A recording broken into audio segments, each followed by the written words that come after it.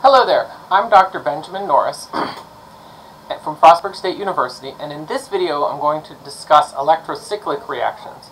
This video is going to focus on the mechanism and we'll talk about the reversibility of these reactions. I'm going to give you an important biochemical example and we'll get into the stereochemistry a little bit. Um, but I have another video coming up after this one that'll go into the stereochemistry in more depth, including providing the molecular orbital uh, explanation for uh, the origin of that stereochemistry.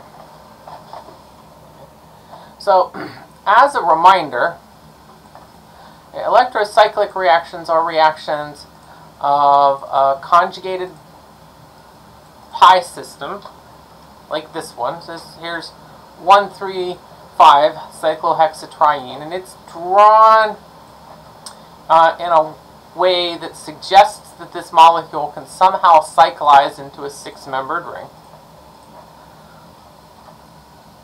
And, and, that is indeed what this reaction does. Right? And there is a net conversion here uh, of one pi bond into one sigma bond.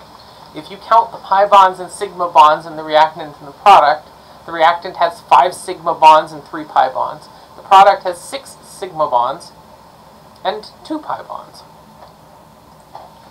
So let's draw the mechanism for this reaction. Uh, like most pericyclic reactions, this mechanism is actually really simple. I'm just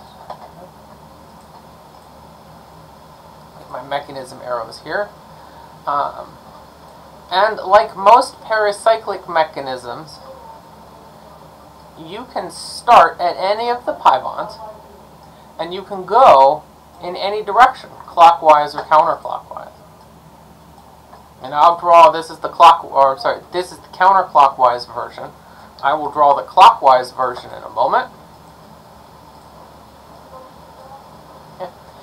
And then as a reminder that this is a concerted reaction, everything happens at the same time, and it is has a cyclic transition state. It looks like this. That's what makes it a pericyclic reaction.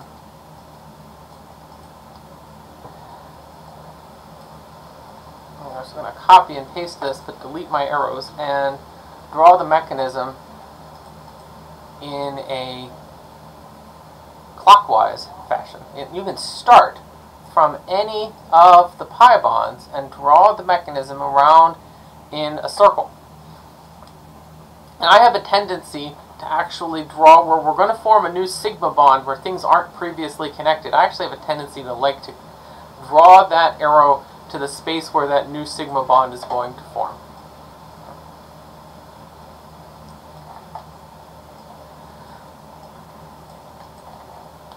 like all pericyclic reactions, uh, electrocyclic reactions are reversible,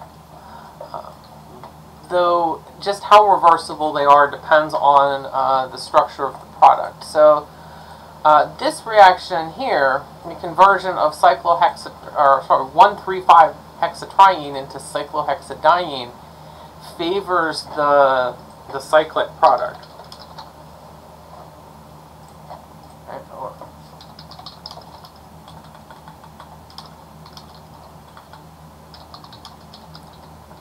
You know, and the reason for that is that we are converting a sigma bond, or I'm sorry, a pi bond into a sigma bond, and sigma bonds are stronger than pi bonds. But this is not always the case. Here, ooh, here is an example using 1,3-butadiene. 1,3-butadiene undergoes electrocyclic reaction to form cyclobutene.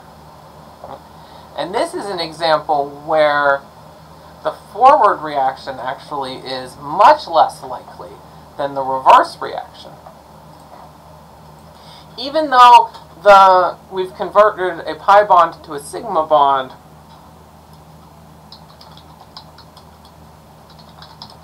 this cyclic product has angle strain that is relieved when the reaction runs, I'm sorry, that is relieved when the reaction runs in reverse.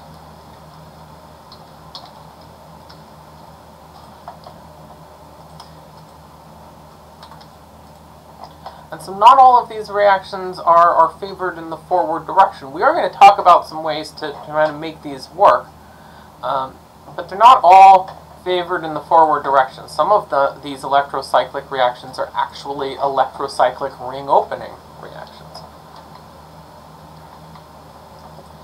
And then I wanted to share with you an important biological example, biochemical example. Right. Here is, I've got to adjust the positioning of these structures because the one's going off the side of the, my screen here. Here is an important reaction that occurs in the biosynthesis of cholesterol. This structure over here on the left is 7-dehydro, I'm sorry, not in the biosynthesis of cholesterol, it comes from cholesterol. This structure over here on the left is 7-dehydrocholesterol, and this is a step in the biosynthesis of uh, vitamin D.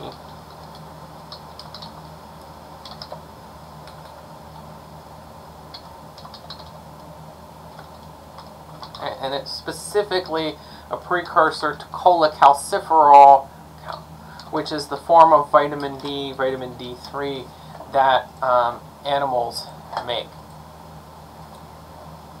And this step that's likely occurring inside you as you are watching this video, uh, if you're being exposed to UV light that is, uh, is an electrocyclic ring opening actually, I'm going to need, I'm just going to get rid of this hydrogen out here because it is in the way of my mechanism. Here we go. Okay. We start at any of the pi bonds and go around in a circle. This is actually the mechanism of one of the ring opening reactions. This is an electrocyclic ring opening of 7-dehydrocholesterol to form uh, a precursor to cholecalciferol. There's actually one more pericyclic reaction that needs to happen, and it's a sigmatropic rearrangement. So when we get to the video on sigmatropic rearrangements, I will show you that second step in the conversion of dehydrocholesterol to cholecalciferol. And to wrap this video up, I actually just wanted to say a little bit about the stereochemical outcome of these reactions. Um, to do this, I need to draw things a little bit differently.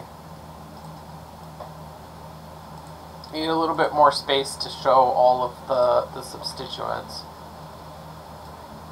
Ooh. There we go.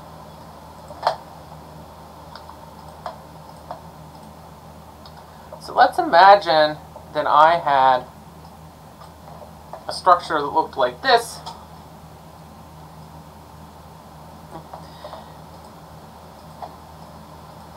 And it undergoes electrocyclic ring closure to form stereospecifically